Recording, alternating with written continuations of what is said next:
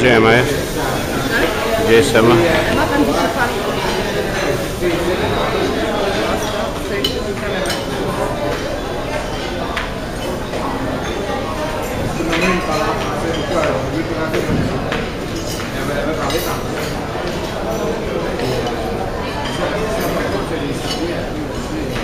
That's good. I know that.